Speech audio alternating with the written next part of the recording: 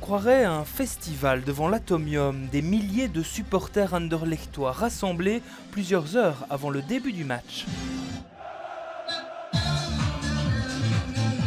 C'est là que le village des fans a été installé dès 10h30 au son des DJ et des chants des supporters.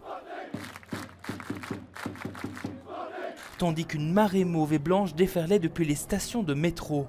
Ensuite, direction le stade pour ceux qui ont obtenu un ticket, où l'ambiance est brûlante à quelques minutes du match.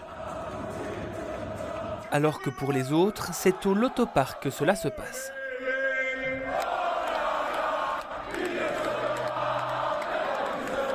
Une liesse en constante augmentation pour amener jusqu'au coup d'envoi.